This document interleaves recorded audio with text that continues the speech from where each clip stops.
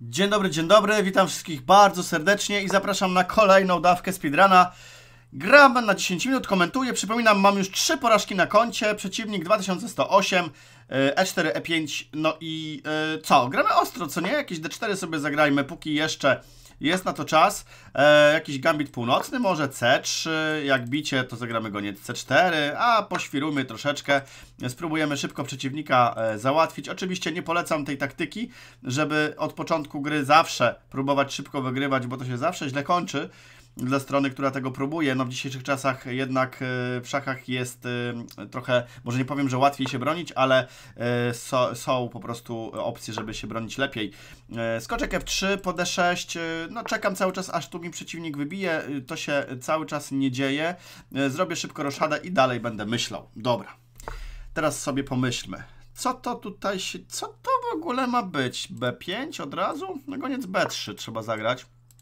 Cały czas celuje w pionka. Zobaczcie, że czarne po e, siedmiu ruchach, sześciu swoich, nie wykonały żadnego ruchu figurą. Dopiero teraz to się dzieje. Goniec zagrywa na G4, chce mi tutaj e, skoczka wziąć. No ja myślę, że po prostu trzeba skoczkiem odbić na C, C3 e, i jakoś spróbować aktywnej gry. Teraz widzę, że po H3 on mi zbije, ja zbiję, on zagra skoczkiem, ja odejdę, F4 będzie groziło. Tak chyba trzeba zrobić.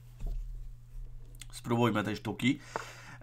O, zostało zagrane jednak inaczej. Zagram G4, bardzo prowokacyjnie zresztą. Po ruchu goniec G6, chyba goniec na F4, żeby pilnować E5, uderzać tu.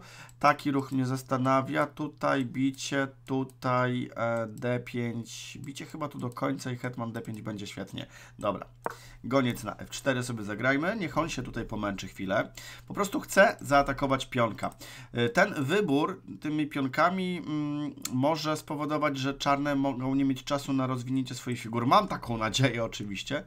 Yy, mogę się oczywiście mylić też, no bo to są szachy, to jest gra błędów. Yy, może taki ruch jak skoczek B6 zagrać. O, nawet jeszcze lepiej, skoczek na C5. No przecież, takiego pod uwagę posunięcia nie wziąłem w tym układzie. Yy, I teraz pytanie, czy zagrać tutaj, oddać świetnego gońca, odbić hetmanem, potem wejść tutaj wieżą i atakować. Potem jakieś takie posunięcia, próba poświęceń. Dobra, tak jak pomyślałem, tak zrobię żeby nie było. E, tutaj zagram od razu wieżą, wprowadzę jak najszybciej figurę i chcę zagrać E5 za chwilę. Znaczy, od razu może nie będę mógł, jeszcze muszę się zastanowić, bo e, pod uwagę trzeba brać skoczek na D3. No właśnie, goniec E7 sprytnie, gość e, dobrze gra. Uważam, że dobrze, bo próbuje szybko rozwijać swoje pozostałe figury. Skoczek D4 jeszcze mi chodzi po głowie z uwagi, że tutaj będę mógł atakować i wejść tu. Dobra, tak zrobimy. Skoczek D4 do centrum, pograjmy lekkimi figurami. Oczywiście ja tego gońca e, oddaję świadomie, żeby spróbować jak najszybciej e, tutaj zaatakować. Na przykład na F5, skoczek na F3, na F6. Chwila, hetman B3, no to to jest chyba dobra wiadomość, to nie mogę tak zagrać? Chyba mogę. Zagrajmy skoczek F5. Skoczek na F5 już stoi dobrze. Po wybiciu oczywiście wybijam tu i wieża zaczyna działać. Będą groźby. Wieża D8, jak długa roszada, jeszcze długa roszada biorę pod uwagę, ale to chyba nie, nie no, długa roszada to tutaj plasnę. E, więc wieża D8 raczej, ale wieża D8 jest tutaj. O, spoko. E, gość jednak oddaje pionka, albo nie widział. No dobrze, biorę pionkę na F7, czyli wyrównuję w pionach i uważam, że mam cały czas perspektywy ogromne na to, żeby gościa tutaj załatwić. E, no to chyba, słuchajcie, podstawił mi tutaj figurę, co nie? Teraz dostrzegam, więc biorę. To takie niezauważalne posunięcie z jednej strony. Skoczek tylko z G6, e, z G8 e, bronił na E7. No podstawił figurę, no to widzicie, taka ostra gra czasem prowokuje przeciwnika do prostych błędów i to się teraz zdarzyło, z czego się bardzo cieszę. E, zobaczymy w ogóle, jak to będzie wyglądać. O, widzę się rozjuszył. Rozjuszył się gościu. E, no to gramy tak, nie pozwolimy w ogóle na, na otworzenie linii. Oczywiście mogłem to olać, bo hetmanem pilnowałem i pionkiem, ale nie chcę otwierać linii. Taki był mój zamysł w głowie, który teraz właśnie e, go właśnie o nim mówię. Dobrze, teraz tak, skoczek na G8. Bardzo nie chcę zbić gońcem i chyba nie muszę nawet, wiecie, bo z drugiej jednak strony, jak wezmę, to będę miał wieżę cały czas silną. I zagram B4 i tego skoczka odpędzę. Mając figurę więcej, warto wymieniać. Chyba tak zrobię w sumie, ale z drugiej strony jak dam szacha, on zbije, ja zbiję, skoczek nie będzie miał ucieczki. Dajmy szacha. Bo chodzi o to, że jak on y, odejdzie na przykład, to ja będę mógł zbić tutaj i trzymać wieżę na siódemce. A wieżę na siódemce to skarb. Wziął, wziął i grozi tutaj. Skoczek nie ma dobrych pól. I to jest ten plus. Zobaczcie, i poddał partię. Ja się nie dziwię. Też bym poddał czarnymi. Nie było żadnych szans. Dobra, mamy kolejnego przeciwnika. Lecimy. Yy, 2142. Czarnogóra. Yy, my już mamy 2135. Yy, ok. Posunięcie D4. Yy, no to cóż, jak grać? Jak grać, jak żyć? Może zagram... Yy, hmm, ile, niech ja się zastanowię. Skoczek F6, ale mam inną koncepcję gry. Zależy jeszcze, co przeciwnik zagra. Zagram B6. Taki ruch rzadziej spotykany. Kiedyś grał Jan Krzysztof Duda na Mistrzostwach Świata. Takie posunięcie z piękną miniaturką. W ogóle gościa rozniósł tam y, fantastycznie. I teraz y, chyba skoczek C6 jest takie dosyć ciekawe, ale nie chcę popełnić gafy, czy to jest faktycznie ten ruch. Bo jak zagram tu, to on mi zagra tak od razu. Nie wiem, czy ja tego chcę. Chyba tak, takie trochę kombinowane, bo jak tutaj, to tutaj trochę prowokuje pionki, żeby szybciej szły w centrum, ale już trzy figury mam w grze, to będę podkreślał często. Skoczek E5, e, oczywiście E4, tu F4 będzie groziło, chyba E6 trzeba grać, trzeba E6 grać koniecznie, uwolnić gońca, jeżeli będzie F4, to oczywiście tędy zagram. Bardzo szybko gra. E, on bardzo szybko gra, co mnie bardzo też cieszy, bo myślę, że nie jest świadomy pewnych tutaj gruźb, mam nadzieję. E, chociaż jak zagram tu, to on mi poczęstuje B4, więc muszę uważać. Po wybiciu on wybije tym na pewno. Może goniec D6 w ogóle wtedy.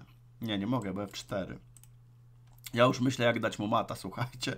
Wiem, że to za wcześnie e, brzmi. Ale może skoczek tutaj i hetman, tylko że skoczek zagra tu. Może A5 w ogóle. Zagrajmy A5. Zagram A5, żeby mieć gońca na C5. On może tak zagrać. No właśnie, nie pomyślałem. Zbijmy pionka w centrum, on odbije e, i może zagram tak, bo F4 już nie groźny, bo skoczek G4. Wyprowadźmy gońca, wyprowadźmy gońca. Taki ruch, jasne, wszystko jest możliwe.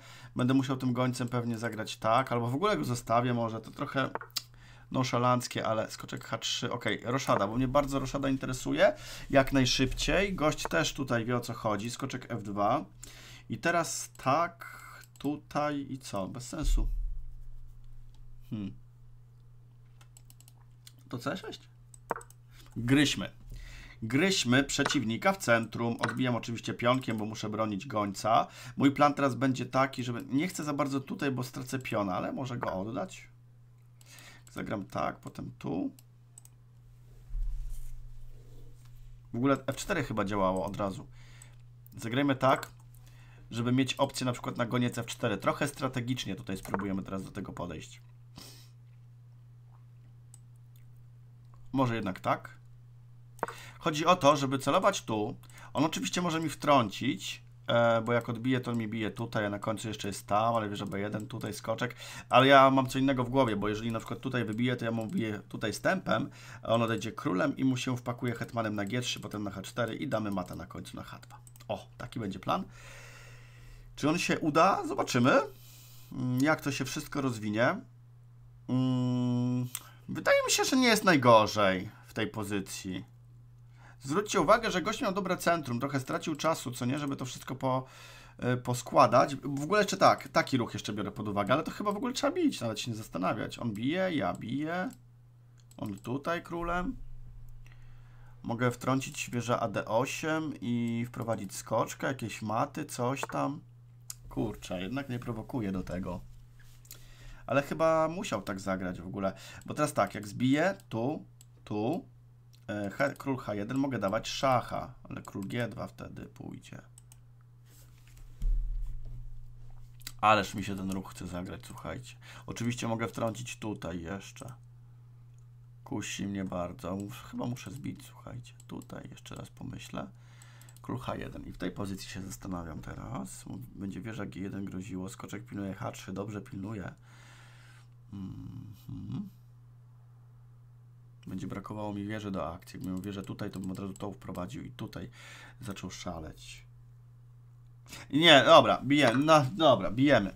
Bijemy, e, a potem będziemy myśleć. To są tylko szachy internetowe, ale też chciałbym, żeby to z dobrym skutkiem wyszło. Na siłę nie będę teraz atakować. W ogóle mogę wprowadzić wieżę tu, albo wieża z F na E8, bo już będzie taka opcja. Bo jak F4, mi- nie, F4 nie może, bo tutaj, ale tutaj, tutaj, tutaj, tutaj będzie do, dosyć dużo wisiało. Czasami jeszcze C5 wejdzie. E, Ten pionek jest nieistotny w tym układzie. E, Teraz tak, tutaj skoczek, tu, skoczek, tu, skoczek, tu. O, skoczek H5 może, bo jak zagram tu, ale nie, to tam też matów nie ma. Bierza E8, bo chcę wprowadzić tutaj jasny plan matowania.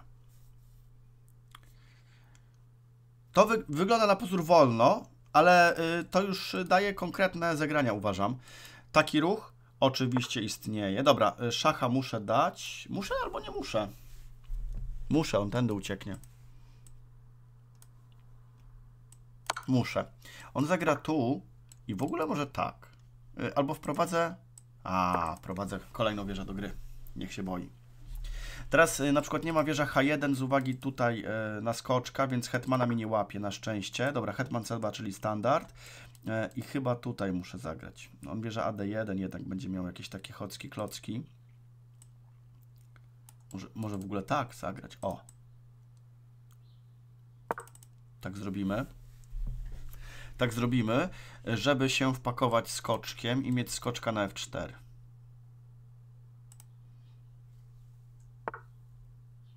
Jeszcze mnie ku, tutaj kusi. Tak, tu, wtedy tu. Ok, hop, hop. No jest wieża G1, mogę wrócić zawsze. Ale grożę takim ruchem teraz.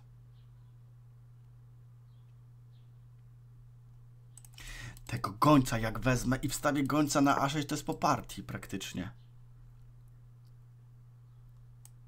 Ale jest sprytny. Jak zagram tu, to jeszcze tego ruchu nie widziałem. Tak jak zbiję. Mm, to mi weźmie tu, tu. A tak jeszcze mogę zagrać chyba. O, właśnie, Krzysztof. Jeszcze masz takie posunięcie. Hetman H2. Bo teraz różnica polega na tym, że jak on zagra tutaj, to ja mu dam szacha. A teraz grożę prostym zbiciem z y, tutaj gońca, ale hetman obije, nie mam goniec A6. Mm, Okej. Ale groźby jakieś są. A niech się poci. Może tu? Skoczek na F2 y, jest bardzo dobrą figurą obronną w tym układzie dla niego. I to jest fakt. Niezaprzeczalny fakt. Ale trzeba przyznać, że ciekawie się robi. Jeszcze F5 mi chodzi po głowie, takie mega ostre. Wow, wow, wow, wow, wow, co on tutaj kombinuje? Mogę tak po prostu zbić. Dobra, idę na różnobarwne, po prostu biję najpierw. Yy, I tutaj będą opcje. Oczywiście on odbije hetmanem, jestem przekonany. Jak odbije hetmanem... Królem zbił! Świat i ludzie. Hop, z szachem. No to, yy, no, widzimy, szachy to gra błędów. Teraz F5 będzie piekielnie mocne. Oj, F5 teraz będzie piekielnie mocne, panie kolego. Yy, F5, jedziemy, F5, ale chwila, zagram tak, on da szacha, ja ucieknę. Wszystko działa. Ok. F5. I niekoniecznie ja chcę zbijać tu, chociaż już coś tutaj mi się zaczyna klarować. What? A, no to dobrze. To teraz mam y, wieżę za dwie figury i dalej atak. Y, może ta jego decyzja była spoko, z uwagi na to, że skoczek. No może i spoko. Ym, No dobra, ale gramy dalej. Teraz jakieś F4 w ogóle grozi, ciekawe. I zamknięcie pozycji. Goniec D3 czasami. Wiem, że skoczek stoi, ale wtedy hetman. A no właśnie, już jakieś opcje są typu wieża D3. Nie no, oceniam tę pozycję jako wygrana czarnych bezapelacyjnie. Y, Co ja w ogóle jeszcze gadam? Przecież ja grożę hetman G1 w tym, w tym momencie z matem. W jednym ruchu. Już szukam tutaj e, jakichś komplikacji, kombinacji, a grozi mat w jednym. Ale jaja. No, szalone szachy czasem oddają to, co jest piękne w nich. Te kombinacje czasem po prostu wchodzą. Yy, dobrze, mądrze teraz odejdź Krzysztof, bo tam grozi mat w jednym. Może królew 8. Królew 8 zwykle wygrywa. Czy król H7 zagrać, yy, bo na, na końcu mo mogą być takie niespodzianki. Ale tam nic nie wchodzi. Dobra, gramy król H7. Tam nic nie wchodzi. Tak sądziłem właśnie. Że skoczek. Yy, tutaj mata nie ma, co? Tak? No nie ma matów jeszcze. Jeszcze. Ale jak zbije tu? Najpierw może zbije. On nie może zbić skoczkiem, bo tu. Dobra, bijemy. Chwila, a może jeszcze tak. Ależ dużo opcji. Bijemy. Otwieramy linię, bo jak zbije tu, to już będzie po partii. De definitywnie. Tak jeszcze może? Nie. Serio? Zbił. Posłuchał się. Tak? On zbije tu, tu. Skoczek. I tu. Nie, no to jest koniec gry oczywiście. Dobra, bijemy.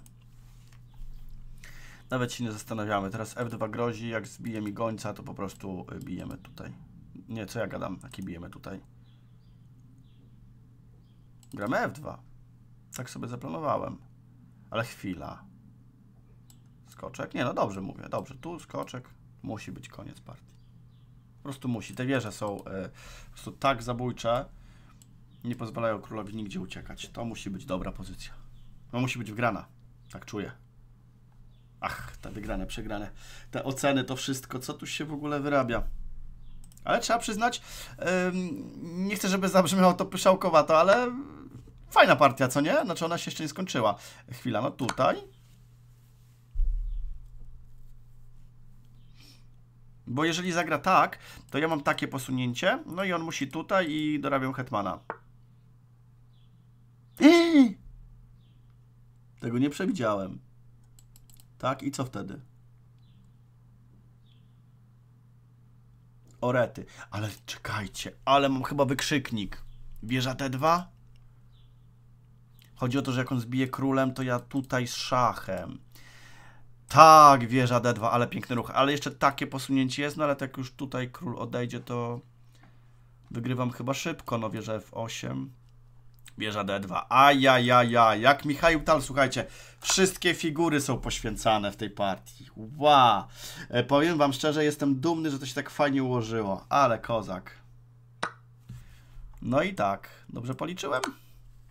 Znaczy on ma jeszcze dużo figur, oczywiście może się zasłonić hetmanem. E, pełna zgoda, ale to musi już być wygrana. Tutaj e, jak dalej grać? Może po prostu dać szacha. Tak, szach daje radę. Szach daje radę, bo jak on odejdzie królem, to po prostu zbijam, za dużo materiału już zdobywam. Ale fajnie wyszło. Wow, wow, wow, wow, ale było fajnie wyszło, mega. E, no dobra, e, słuchajcie, jeszcze jedna partia. Jeszcze jedna partia na pewno. Szukamy przeciwnika. Ale w ogóle partia kosmos. Jedna chyba z lepszych w tym speedrunie. Dobra, Filipiny. Jedziemy, proszę pana. Zobaczymy, jakie tutaj mm, pozycje powstaną. Czy D4, czy E4, czy skoczek, czy C4, czy skoczek, czy B3, czy G3, a może H4, A3, A4. Nie, no takie ruchy nie będą. Na co, co obstawiamy? Przypuszczam, że E4 jest najczęstszym ruchem. E, widzę, że chyba przeciwnik ma problem z połączeniem internetowym. E, tutaj za chwilę się wyjaśni, za kilkadziesiąt sekund, czy ta partia zostanie przerwana, czy nie. No, czasem tak bywa, to już wina łącza. Dobra, czekamy sobie cierpliwie na kolejną rundkę. Na rozpadnięcie czasu. Dobra, y, musimy tutaj jednak sobie wyszukać kogoś innego. Ok, Włochy. Mm, wiecie co? Zagrajmy jeszcze raz ten system. Zobaczymy. A, dobra, dobra, panie kolego, zmieniłeś tutaj opcję. Ciekawe, czy on jest gotowy na takie posunięcie. C5. Jak bicie, to się bardzo cieszymy. Jak przepchanie, no E4, wiadomo, wiadomo, to będzie grane. To będzie oczywiście grane. Hmm, hmm. No dobra, to co? Gramy G6, będzie E4, trzeba zagrać D6. Takie sobie e, stare Benoni. Goniec G7 oczywiście. Szach może nastąpić raczej. Trzeba będzie się słonić końcem, zrobić roszadę. Dojść do ruchu E6, wejść wieżą na E8 i próbować tam jakoś grać aktywnie w tej pozycji. H3 to jest mądry ruch, bardzo mądry. Robimy szybko roszadę, bo to ogranicza gońca na G4. To jest bardzo mądre posunięcie, bardzo zdrowe. E, teraz tak, A3 mogę, on zagra tak. Bo jak mi pozwoli dojść do B5, to będzie przyjemnie. Pytań, yy, przepraszam, A6, A6, A4. E, no dobra, A6 zagrajmy. Bo można też przez skoczek A6 grać. Taki, widzicie, ruch z automatu. To znaczy, że gość już te schematy ma mniej więcej e, opracowane, ale jeszcze taki ruch mnie interesuje. Nie zagramy przez E6, zagramy przez E5, bo jak mi zbije, to super. E, to odbije to prawdopodobnie gońcem lub pionem. Jeszcze się zastanowię. Raczej pionem chyba trzeba to odbijać, a potem skoczek C6. Tak, raczej pionkiem. A jak nie odbije, to mam schemat królewsko-indyjskiej troszeczkę. Potem skoczek H5 sobie zastosuję, tu będę chciał zagrać. A potem skoczek D7 zablokować na E5. Także warto znać różne debiuty, różne schematy przede wszystkim warto znać, bo to ułatwia. Bo debiut może się przekształcić oczywiście. Dobra, tu biję pionkiem, tak jak wspomniałem. Po ruchu E5, który jest możliwy, zagram sobie skoczkiem. Skoczek. E, mogę też tak przyblokować, ale nie, no wyprowadzenie figury jest bardziej atrakcyjne.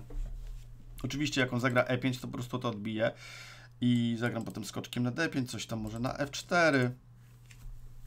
Fajne rzeczy tutaj się mogą dziać. Dobra, przyblokował. Trzeba go przepędzić. Jak zbija, to super. Nie zbija tak.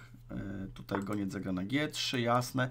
I chyba tutaj będzie stało bardzo dobrze. Uważam, że pozycja czarnych jest teraz y, bardzo, bardzo, bardzo dobra, bo teraz taki ruch już nie jest straszny, bo mam D5.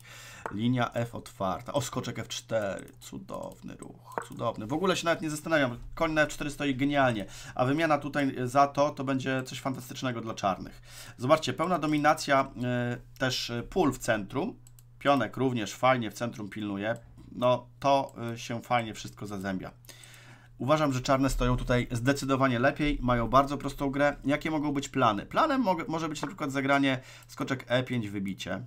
Tak na przykład można spróbować. Taki ruch będzie pewnie y, kombinował. Y, jeszcze się tak zastanawiam nad takim ruchem, bo będę na przykład groził zbiciem tu i potem wezmę sobie piona. Ale chwila, bo na D6 będzie wisiało. Wydaje mi się, że taki ruch jest ciekawy. Myślę, że to jest ruch prostszy. Może nie do końca jakiś super, może na D4 było też lepsze. Tutaj już pełna dowolność, bo po wybiciu mnie bardzo interesuje właśnie bicie gońcem. I jak ustawię teraz hetmana tutaj, to jest w ogóle cudownie. Cudownie to wygląda. F3 oczywiście może być grane. Dobra, tutaj, tutaj. Tu jest pilnowane. Oczywiście goniec D7 w przyszłości, goniec C6, uderzanie, wieża D8 do centrum może. Są groźby bicia tutaj, są groźby teraz bicia tutaj i tutaj z matem. E, no, jest groźba, prosta groźba. Eee, ta?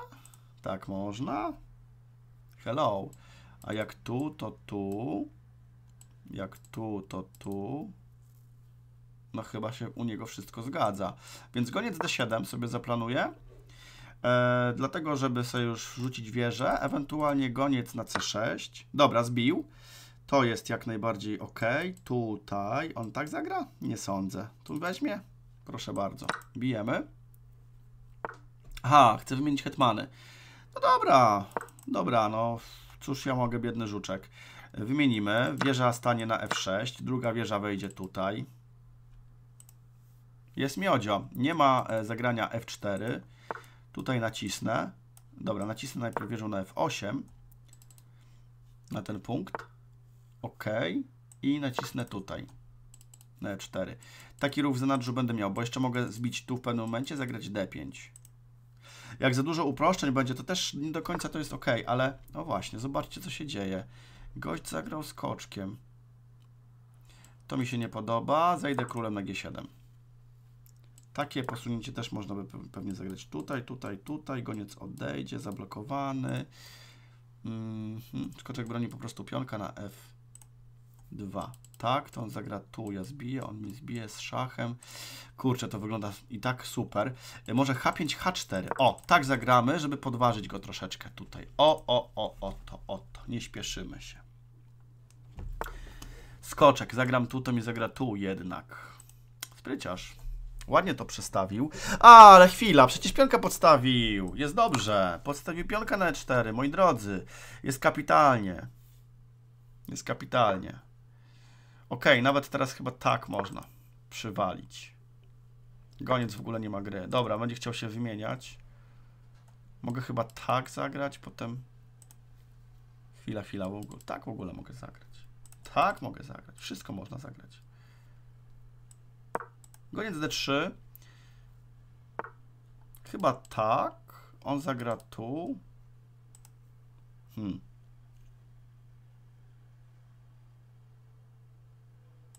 No niech będzie. No goniec B1 na 100%, na 100% powinien e, tutaj teraz zagrać. Skoczek na C2? What? Może zbić w ogóle grać na różnobarwne. Gońca przestawić tutaj kapitalnie to będzie stało. Ale też nie muszę. Mogę tak zagrać od razu. Może tu? Może tu. Tutaj, żeby nie być na jakimś tam związaniu, bo e, jak mi zagra skoczek, to ja zawsze go przepędzę tędy. Dobra. Ok, zagramy sobie gońcem tutaj. On może tak, oczywiście, więc e, wymiana też e, widać, że nie musiałaby następować od razu. I po prostu ustawię gońca na B6, będę bardzo mocno uderzał w piona i chyba to będzie już kończące uderzenie. Tak, mam, mam, taką, mam taką nadzieję. Skoczek, dobra, goniec B6. Jeżeli skoczek E3, to chyba wieża F2, wieża bije, goniec, wieża, tu, chyba się zgadza. Dobra, teraz muszę to policzyć. Znaczy, bo tak, mogę nawet e, zbić tutaj jest kapitalnie i zagrać tu. W blicu tak bym szybko zagrał, bo zdobywam tego piona albo tego. Chyba się na to w ogóle zdecyduję, ale jeszcze się zastanawiam nad F2, to jest trochę bardziej ryzykowne, ale sprawdźmy. Tutaj, bije tu, jakość. On musi wieża F1. Ja tutaj. No tak, to też wygrywa. Bierze F2. Dajemy radę. On zbija, zbijamy tu. I goniec D3 na końcu. Działamy na związaniach. Oczywiście bicie na E3 też wygrywało te pozycje i po prostu prościej chyba troszeczkę, bez większego ryzyka. Ale to też chyba, jak dobrze się policzy, oczywiście tak, goniec E3, y, dobrze i goniec D3. I teraz y, po prostu grożę zbiciem na F1. Ze zdobyciem kolejnego materiału jak król odejdzie, to po prostu... Aha! Aha, jak król odejdzie, to... Yy... Aha! Chodzi o to, że będzie równo...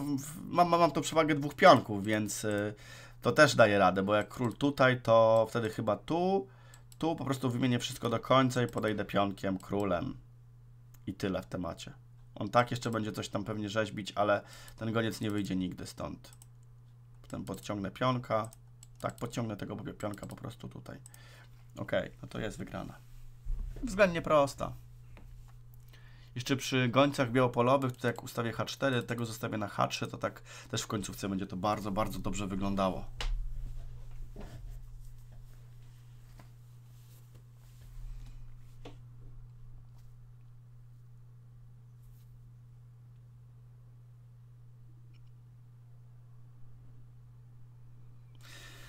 No i gość myśli, słusznie.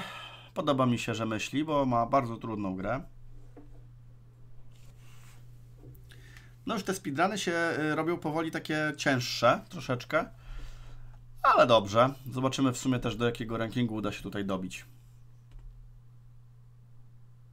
Też mam tutaj taką opcję, że gram z zawodnikiem. Yy, mogę zagrać o, nie wiem, 40 chyba oczek najmniej słabszym rankingowo, więc e, tutaj próg sobie zawieszam wysoko, żeby grać z silniejszymi zawodnikami. Przecież nie będę przy rankingu 200 grał z zawodnikami 1500, no bo to jest pozbawione sensu oczywiście.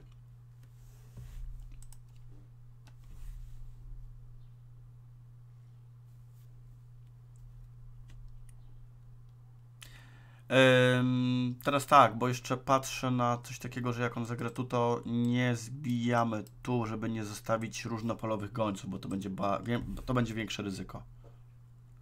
Zagra królem, to po prostu zbije wieżę, tutaj, tutaj, podejdę królem i tyle w temacie. Albo nawet H4, a podejdę królem po prostu. Im szybciej król pójdzie do góry, tym lepiej. Poddał. No dobra słyszał, co mówiłem. Dzięki serdecznie, moi drodzy, za dzisiejszy odcinek. Przypominam, szachowo.pl, 10% zniżki na zakupy na hasło Pan Szachus. Pozdrawiam e, i do kolejnego odcinka zapraszam. Hej!